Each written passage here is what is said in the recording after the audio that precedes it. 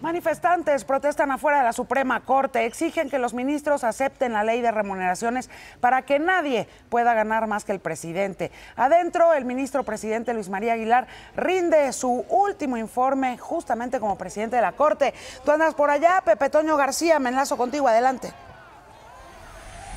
Hola Yuri, ¿cómo estás? Qué gusto saludarte esta tarde. Nos encontramos en las inmediaciones de la Suprema Corte de Justicia de la Nación, donde se manifiesta este grupo de personas desde este mediodía, bueno, pues han llegado aquí a la zona de las escalinatas, a la zona de la banqueta, en la puerta principal de la Suprema Corte.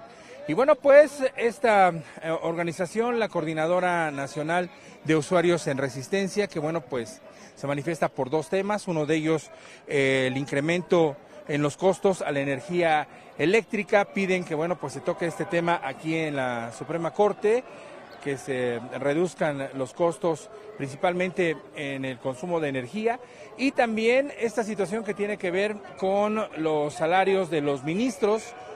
Hemos platicado aquí con algunas personas que se están manifestando, esto es lo que nos han dicho. Yuri, vamos a escucharlos. Popularmente la gente está indignada con la crisis económica que se vive en las familias y, que, y saber que hay funcionarios que están ganando 400 mil pesos. Dicen, no ganamos 600 mil, solamente 400 mil. Es una vergüenza. Pero que se largue, no los queremos. Aquí estamos bien conscientes de todas las corruptelas que han cometido en, todo lo, en todos los sexenios pasados.